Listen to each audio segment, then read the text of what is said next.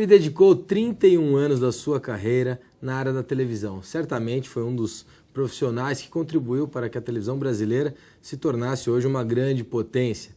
Trabalhou no SBT, na Band, fez grandes reformas. Hoje ele preside a editora Spring, que, dentre outros títulos, possui Rolling Stone e também América Economia. José Roberto Maluf, que prazer recebê-lo. Prazer é meu. Muito obrigado pelo convite. Quero saber como é que surgiu, é, como é que um advogado se torna um grande amante da televisão. Trabalhando em televisão. Então, como é que é? Eu comecei como advogado na minha vida profissional, é, tendo um pequeno escritório e depois logo fui também ser advogado da Fundação Casper Libro, da TV Gazeta, TV Gazeta. Gazeta. Naquela época tinha a Gazeta Esportiva, a Gazeta, a Faculdade Sim. Casper Libro. Sim. E aí a vida vai levando, né? deixa a vida me levar. E fui para Bandeirantes logo depois, fiquei lá uns par de anos, né? uns 20. Aliás, você participou, você participou da construção da rede nacional da Bandeirantes. Ah, sim. Quando eu fui para lá, a televisão eh, tinha em São Paulo, estava abrindo no Rio e comprando a Vila Rica de Belo Horizonte, que ficou a Bandeirantes de Minas. O que você acha que está acontecendo com a televisão, com esse mundo tão interativo? Bem, a televisão é, é um grande player ainda no mercado de comunicação, vai continuar sendo. E ela hoje, com o digital, ela já tem algumas possibilidades de ser interativa também, mas ninguém está tá sozinho mais no pedaço. Quer dizer, você tem que estar em várias plataformas. Então... Sim, nós estamos aqui, inclusive, a Rede TV Mais está no canal fechado, através uhum. da NET também da TVA. Certo. E isso é algo que vem tomando, isso vem ganhando força. Hoje a classe C tem consumido muito a TV por assinatura. Você acha que aí, é, e hoje a gente percebe uma busca pelo conteúdo cada vez mais na massa, na TV aberta, para ganho de audiência. Certo. A TV por assinatura pode transformar isso? Pode fazer com que o conteúdo volte a ter mais qualidade? Sem dúvida nenhuma. A televisão por assinatura é, é, é hoje vista por o, a ponta da pirâmide socioeconômica muito mais do que na TV aberta, muito embora a TV aberta esteja, na, digamos assim, carregadas pelas operadoras de cabo e de satélite, etc.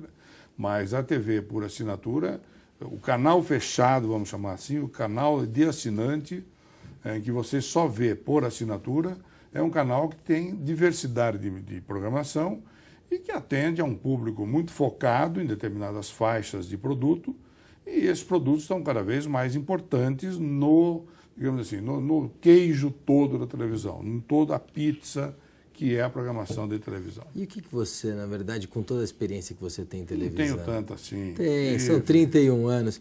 O que, que, você acha do conteúdo da TV aberta? É, já foi melhor. E já foi melhor porque não tinha TV fechada. Então, com a, a vinda da TV fechada e a perda de, de algumas camadas de, de, telespectadores, ela foi como, vamos dizer assim, se popularizando cada vez mais. Sim. E ao popularizar cada vez mais, ela foi perdendo, digamos assim, um pouco de qualidade. Sim. Mas não deixa de ser uma grande televisão que se faz no Brasil. Agora, Pode você... prestar atenção que em relação a outras emissoras no mundo todo e outros países, nós ainda temos uma televisão de qualidade.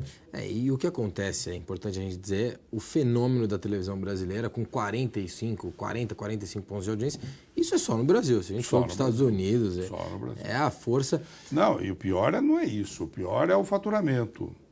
É que a divisão do... Dos budgets. É, é da, da publicidade. Sim você fica entre 63% e 65% do dinheiro disponível para a televisão aberta. Para televisão aberta. Você acha que isso começa a mudar agora? Até porque a gente, vamos pegar, por exemplo, para falar de é, a mídia, a verba de internet, em 2009 foi 3%, 2010 4%, e esse ano deve chegar quase a 7%. Está crescendo 16% em relação ao ano anterior.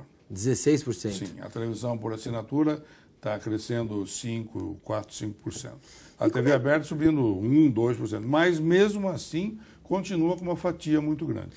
Maluf, nesse caso, como é que fica o mercado editorial para você? Então, quem perdeu? Nos últimos 10 anos, quem perdeu foi a mídia impressa. Mídia foi impressa. o outdoor, foi a mídia interior. A mídia interior até cresceu um pouco, até porque ela ficou é, mais divulgada, ela tem mais, mais penetração. Mas os jornais perderam, a revista. Essa questão da mídia interior, inclusive, tem a ver muito com a cidade de São Paulo, né? com a lei da cidade limpa. É, a, a grande concentração de verbo está na cidade de São Paulo. Você tem toda a razão. E aí a mídia interior ela ganha mais força. E como é que fica com a mídia impressa? Eu quero saber depois como é que você fundou a Spring. Mas antes disso, é, aproveitando que nós estamos no tema, é, para onde vai caminhar a mídia impressa? É, olha, ela não vai ficar sozinha mais como mídia impressa, como ninguém vai ficar sozinho mais na sua plataforma. Perfeito. Dizer, é, eu tenho revistas hoje, mas também tenho portais, estou no celular, vou ter programa de televisão, de, de, de, de rádio, Sim. estou negociando com uma emissora em São Paulo, um programa para Rolling Stone, tenho um programa de televisão pronto para Rolling Stone, preciso produzir, e não foi para o ar ainda porque não teve patrocínio, mas tendo patrocínio irá para o ar. Nós Perfeito. temos o Instituto Rolling Stone, que é um instituto. O grande segredo, então, são as plataformas de conteúdo. Você não Você pode vai usar ser... as diversas mídias. Olha, eu venho acompanhando essa, essa discussão de para onde vai a mídia impressa mais ou menos desde 2001. É, naquela oportunidade, em Nova York, teve uma reunião do, de, de publishers e, e, outras mídias, e junto com o diretor da Microsoft, Sim. Dick Brass. Dick Brass dizia para Arthur Sulzberg Jr., da, do New York Times, olha, o seu jornal, a última edição do seu jornal vai circular em 2018. Outro disse, por que 2018? Não, você não vai mais ter jornal, isso acabou, o negócio é online, o negócio é digital, o negócio é, é internet, etc. Ele disse, olha, você não entendeu bem o que está acontecendo. Eu tô em, estou em televisão, eu estou em rádio, eu estou entrando em portal de internet. Eu sou um provedor de conteúdo. Perfeito. E eu vou é, divulgar o meu conteúdo, vender o meu conteúdo e distribuir o meu conteúdo por qualquer que seja a plataforma. Agora, isso isso está cada vez mais difícil. A não, venda do conteúdo. Não, está cada dia mais claro que você tem que ter várias distribuições para o mesmo conteúdo ou para conteúdos semelhantes. Mas as pessoas não estão tendo acesso a esse tipo de conteúdo gratuitamente? Mas vão deixar de ter, não é? Você não pega o New York Times gratuitamente, você pega o New York Times e paga. E hoje eles têm uma receita muito grande vendendo assinaturas e vendendo assinatura de um mês, de seis meses. De não, um e ano. as demais plataformas. Né? Hoje, se você tem o teu tablet, você tem como é, clicar e. Então você, você acha que. E o conteúdo por conta disso? O conteúdo deve cada vez ficar mais específico? Não necessariamente. O New York Times provavelmente, assim como a Rede Globo, o Estadão, a Folha e, enfim, outros veículos brasileiros, eh, terão, continuarão sendo mídias com conteúdo eclético, chamado eclético, que tem o esporte, dramaturgia, jornalismo eh, infantil, Sim. adulto, não sei o quê, e cada um vai buscar dentro daquela plataforma o que mais interessa. Como é que surgiu a Spring para você? Como é que foi? A Spring surgiu assim. Eu, quando eu decidi sair do SBT, eu comuniquei ao proprietário que estava saindo por discordar de um problema meramente eh, profissional, Sim. empresarial. Eu não queria que ele fizesse tal, tais coisas e aí acabei saindo do SBT. E aí então fui procurado por um sujeito chamado Miguel Tivita, meu caro amigo Miguel Tivita, Sim. Que é filho de um dos Tivita, do Carlos Tivita, que é primo da família Tivita, do Roberto Tivita, que detém o controle da Abril, Sim. me dizendo que ele queria montar uma empresa no Brasil, que ele vinha dos Estados Unidos, morava lá, estava vindo para cá, para concorrer aos serviços de mídia e entretenimento da TAM Linhas Aéreas. Então, nós montamos, eu gostei da ideia, montamos a Spring para concorrer a esse serviço. Sim. E ganhamos todos os serviços da TAM, de revista, vídeo de bordo, mídia de bordo, sorteio, sampling, distribuição de produto, enfim, adesivagem de BIM, de é, porta-bagagem, adesivagem de avião, etc. E aí, então, com essa, com essa, essa empresa, eh, nós ganhamos de umas seis ou sete outros que também concorreram. Sim. E passamos a cuidar desse serviço para a TAM. E aí foi surgindo a, foi surgindo a oportunidade, de fazer outras revistas customizadas, além da TAM Magazine, que nós criamos, Sim. substituindo a velha classe, chamava Classe a revista. E, e, também conseguimos licenciamento da Rolling Stone, da ESPN. Bom, eu quero pedir licença a você, nós vamos a um rápido intervalo e continuaremos no próximo bloco com José Roberto Maluf. Até já.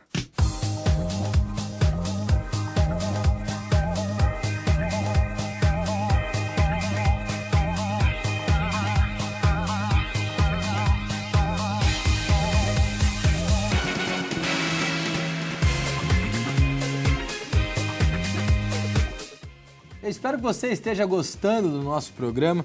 Eu estou agora com o meu HP EliteBook para convidá-lo a acessar o nosso site rbevocê.com.br. Lá você poderá saber mais sobre esse e outros programas. Não perca tempo.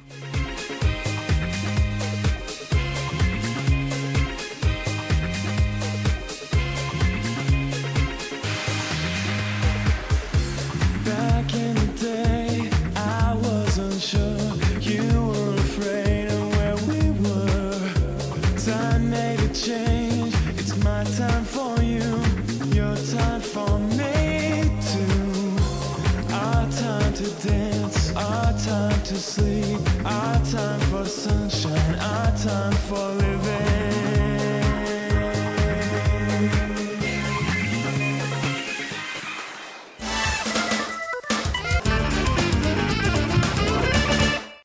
Aqui na fábrica da Flexform para mostrar por que ela é referência na América Latina e líder nacional em vendas de cadeiras para o mercado corporativo. Seus produtos são fabricados com a mais alta tecnologia.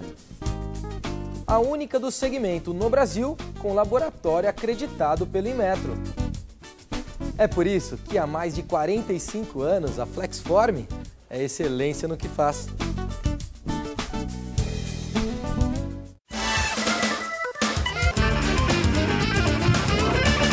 Voltamos na entrevista com o empresário, presidente da Spring, José Roberto Maluf. Maluf, Oi. é, agora a gente está aqui recheado dos seus, dos seus produtos. Essa daqui é, é a mais nova Xodó, é isso? América Economia? Olha, a América Economia é uma revista que foi criada pela Dow Jones americana Sim, e ela tem 25 anos e está há dois anos comigo.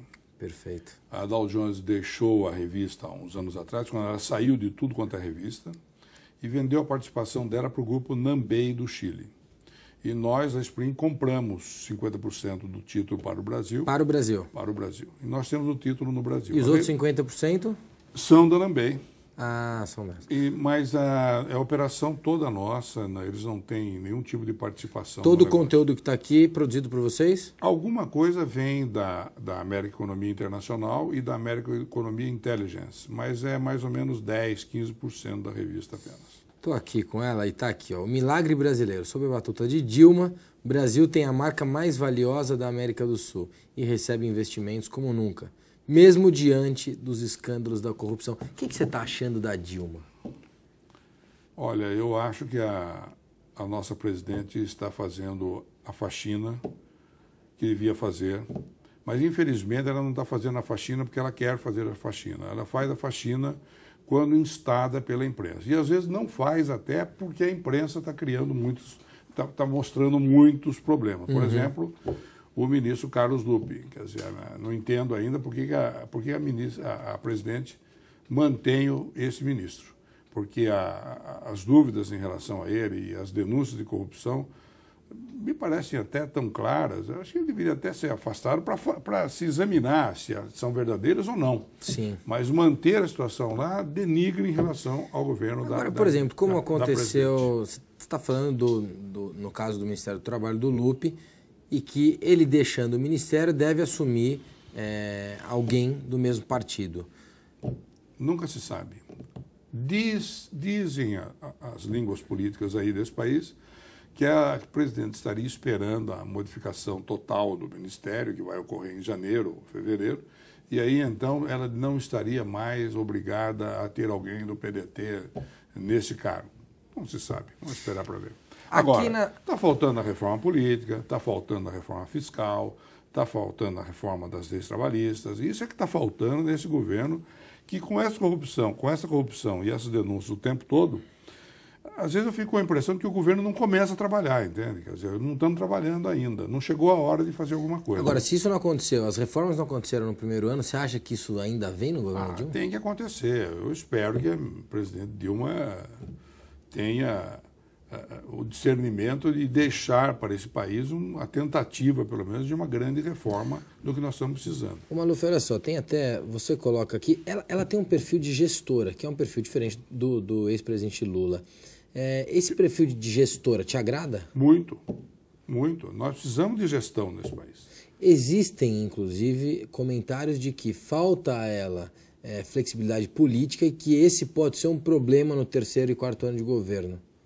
Eu não acredito, não. Veja que eh, não há oposição no Congresso hoje. Veja que o Congresso não tem uma CPI em funcionamento. Com todas as denúncias de corrupção, não, a oposição lá é tão fraca, mas tão débil, que não consegue implantar uma CPI, não consegue iniciar uma CPI, não consegue passar numa CPI. Por quê? Porque o bloco do governo é maciço, é maciço. Faltam lideranças, novas lideranças políticas para o Brasil? Não sei. O problema talvez não seja de lideranças, talvez seja uma vontade de fazer alguma coisa nesse país. Enquanto nós tivermos. Você acha que o sistema bloco- pode estar tão corrompido que. Acho. Acho. E em todos os níveis, em todas as esferas. Isso que mais me preocupa. O que fica para os meus netos. Os meus filhos eu já sei. Para os meus netos eu gostaria que fosse mudado isso. Você acha que essa nova geração, porque se a gente for olhar para essa classe C, ela é uma, uma classe mais preocupada com meritocracia. As pessoas estão mais preocupadas em realmente fazerem direito, em serem beneficiadas. Não, Mas você vê isso no deixando, campo político? deixando o José Sarney de lado, né? Perdendo né, aquela coisa do quem indica. As pessoas querem hoje eu- crescer. Eu, eu- eu me lembro só de uma frase do Ulisses, quando alguém disse que o Congresso era uma coisa horrorosa, ele falou: espere o próximo. Espere o próximo. É verdade. Então, então a minha preocupação é essa, quer dizer, é que nós ainda não começamos, na, na área política, a ter este tipo de, de- de- de solução. Eu tô- Procurar soluções pela meritocracia e não por quem indica. Eu quero só. Eu, a revista Rolling Stone, eu acho que ela tem uma, uma coisa de opinião muito forte. Tem. Acho legal você falar disso. E aí tem a ver também com o perfil desse, não só do novo consumidor, mas o perfil do jovem. É, o jovem, ele, ele é um jovem muito dinâmico. Mas você acha que falta ser um jovem mais questionador? Olha, é, quando eu vi a, a tomada da reitoria da USP pelos alunos, eu li alguns artigos nos jornais, não vou me lembrar agora quem escreveu, mas um deles foi brilhante e que dizia o seguinte: eles não têm do- eh, com o que ou para que contestar, eles não têm por que brigar. Acabou a ditadura, existe uma democracia, eh, a imprensa é livre, Dizia um amigo meu, Borghetti, já falecido, que há muitas eh, definições do que seja democracia, mas eh, com certeza democracia existe quando a imprensa é livre. É E a verdade. imprensa é livre. É verdade. Então, o que esses meninos fizeram lá na reitoria? Eles não têm o que contestar, então inventam alguma coisa para criar o factótum. Aliás, uma bobagem. Bobagem total. Uma bobagem, perder Tirar- tempo. A mídia ainda perde tempo falando disso. Querem tirar a, a- a polícia de lá porque eles querem fumar maconha. Não dá para Não tem, não dá não. para explicar. Isso não dá para explicar. Não dá. Agora, qual que é a proposta? Vamos falar da Rolling Stone aqui, deixar um pouco a política de lado. Qual que é a proposta? É uma, é uma revista curiosa e que ela, ela de fato forma opinião, ela ajuda a formar opinião. Não há dúvida. Esse é o perfil do leitor da Rolling Stone? Olha, a revista nasceu nos Estados Unidos a- ao tempo do Woodstock, de Woodstock como uma revista de, como uma revista de contracultura, Sim. uma revista contra o status quo estabelecido. E ela até hoje é uma revista contestadora, tanto lá quanto cá. E é uma revista para o chamado Forever Young, para o jovem para sempre, quer dizer. É aos- você? Você é o jovem eu para não sempre? sei, eu não você sei se é sente o jovem para sempre? Eu me sinto muito jovem, diga-se de passagem, embora já não seja tanto. Mas essa é uma revista que é para de 15 a 55, 50, 60 anos. Para o sujeito que não deixou se abater eh, pela idade. Pela idade. dizer, eu, quando vejo um sujeito de 70 anos andando de Harley Davidson com bandana na testa, é um Forever Young. Esse é Forever Esse é Young. um Forever Young, com certeza. É o caso do Jô Soares aqui? É o caso do Jô Soares. Eu tive na entrevista com ele, ele é um cara fantástico. Um fenômeno. Além de ser um fenômeno, É um fenômeno. cultural, eh, de informação, eh, como, como, como pessoa muito bem informada. Sim. Ele tem algumas coisas maravilhosas. Dizer, a casa dele, do elevador que desce, parece um tubo. de- de, de um foguete, os brinquedos, os, painéis. Cada dele é um, é um, é um luxo só, uma Muito- coisa diferente. Nós muito divertido. alguma coisa aí na revista. Muito divertido. Agora tem uma coisa que é interessante, e aí eu acho que esse trabalho vale a gente colocar aqui. Vocês estão desenvolvendo um trabalho de inclusão social que é muito legal, que é o Instituto Rolling Stones. Queria que você falasse sobre isso. O Luiz, meu filho, disse: Olha, pai, a gente precisa fazer alguma coisa nesse país ah, e não só ficar pensando no resultado financeiro dos nossos negócios. Vamos fazer alguma coisa para as crianças que não têm possibilidade de ter uma escola de música, não têm possibilidade de ter uma aula de música, não têm possibilidade de ter um instrumento musical. Então, nós, depois de conversarmos com a Warner Media, que é a titular da marca Rolling Stone, criamos aqui na, no Centro Cultural Rio Verde, a sede aqui em Pinheiros, o Instituto Rolling Stone. Perfeito. O Instituto Rolling Stone busca, traz crianças de escolas públicas aqui de São Paulo, eh, por enquanto São Paulo, vamos abrir agora uma segunda escola na Bahia, provavelmente, e essas crianças nós damos tudo para ele, pra ele consiga aprender um pouco de música. Aulas de música, damos os instrumentos musicais, damos o almoço ou o jantar, depende do horário, um lanche. O transporte até o centro cultural vem da escola e devolvemos para a escola, onde o Muito pai e a mãe legal. vão buscar. Muito legal. E ah, perguntar, ah, está tirando a criança da droga? Não, não estamos tirando, eh, tirando criança Mas da você droga. dá uma nova opção. Nós estamos fazendo aquilo que me deixou muito emocionado. Quando um menino de 9 anos falou, tio, se não fosse você, eu jamais poderia aprender música na minha vida. Muito Pegou legal. a guitarra dele e foi embora. Como é, como, é que, como é que vocês selecionam essas crianças? Pois é, então eh, as crianças, a gente vai na escola, né, nas escolas ali próximas, públicas, sempre públicas, e aí a gente distribui um, um- um folheto em que eles preenchem esse folheto e a gente vai ver então depois quem tem condição, quem não tem. Por exemplo, tem alguma família que é mais abastada, nós não estamos trazendo a criança, Sim. estamos explicando para o pai como é que ele deve procurar uma escola assim assada, ou o projeto aqui, ou a escola ali. Perfeito. E estamos trazendo as crianças, estamos trazendo as crianças que realmente precisam, que não teriam condições de comprar uma guitarra de 300 reais. Você falou da- do caso dessa criança de 9 anos. É, já surgiram novos talentos ali? Um, É dos, dos 24 primeiros que se formaram há uma semana, Ah, que bom.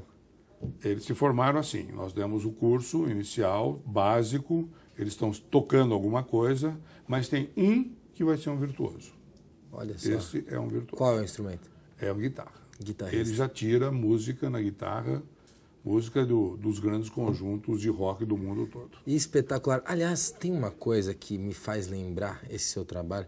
A gente está com uma oportunidade maravilhosa, o Brasil, eu digo, de fazer a inclusão social através do esporte, Maluf. Não há dúvida.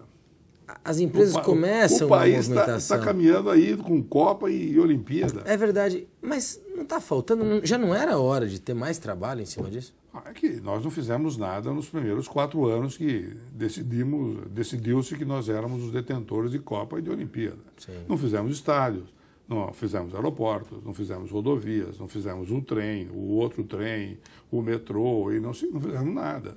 Então, quando você me diz que também não estão fazendo a inclusão do esporte, eu diria que é mais uma coisa que nós não fizemos. Que está deixando de fazer? Claro. Esse é o maior gargalo que o Brasil tem hoje, a educação? Ah, não tenho dúvida.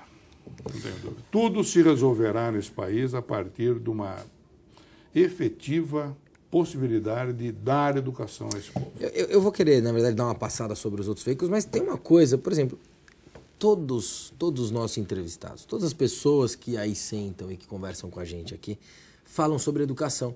Isso é uma coisa tão perceptível, isso é uma coisa é, tão relevante.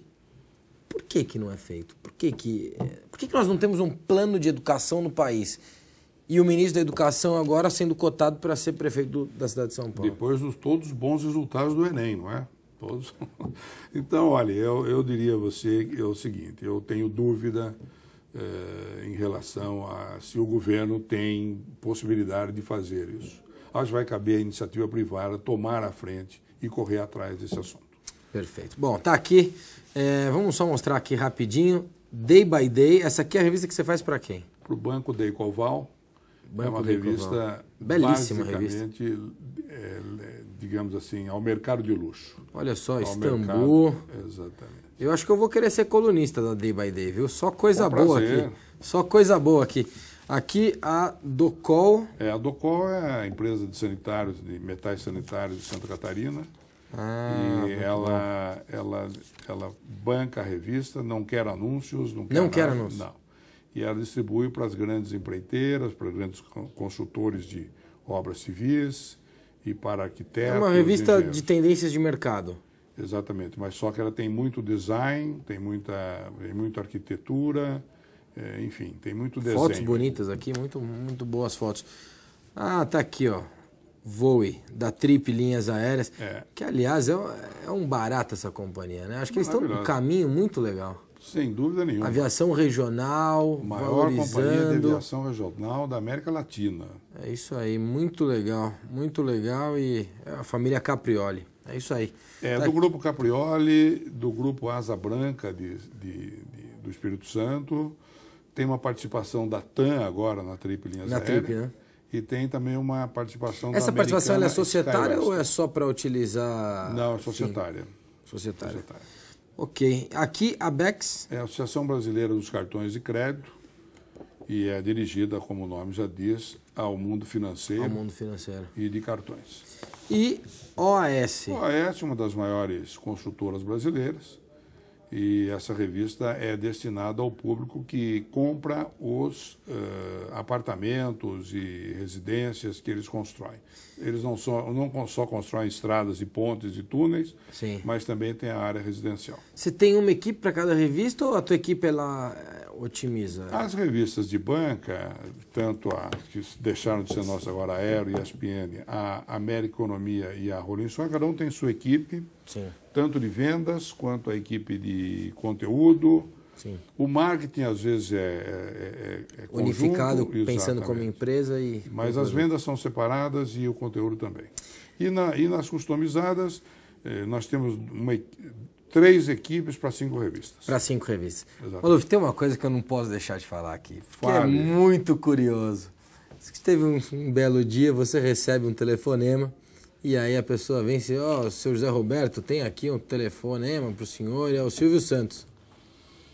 Como é que foi Tá isso? bom. Olha, eu tinha deixado a Bandeirantes nessa época, eh, foi mais ou menos nos fins de 98, portanto já faz tempo. Aí no começo de 99 eu, eu trabalhava com um amigo num, num escritório, ainda pensando o que ia fazer, meu filho mais velho já advogado também, pensando em voltar à advocacia, talvez voltar a dar aula de Direito na faculdade de- da PUC, de Faculdade de Direito da PUC, onde eu dei aula antes. Tal. Sim.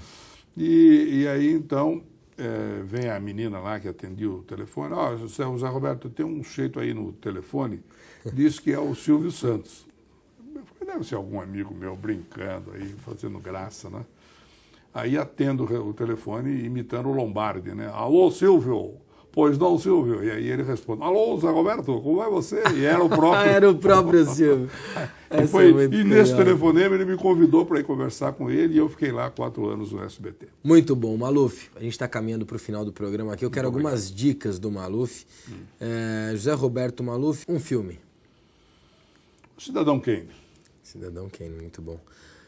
Maluf, se hoje você tivesse a caneta da presidente Dilma, se ela tivesse na tua mão e você fosse o presidente do país, qual seria a sua primeira decisão, sua primeira iniciativa? mandar para o Congresso projetos de lei propondo as reformas políticas e, e- e de impostos e, e- e de impostos nesse país. José Roberto Maluf, gostei muito da nossa conversa. Obrigado por ter vindo, viu? Muito obrigado e que agradeço. Obrigado. Um abraço. E este foi José Roberto Maluf, presidente da editora Spring. Tem aqui diversos títulos que a gente mostrou no nosso programa. Agradeço a você pelo seu carinho e também, é claro, pela sua audiência. E eu te espero sempre de domingo a sexta-feira, às 11h30 da noite. Até lá!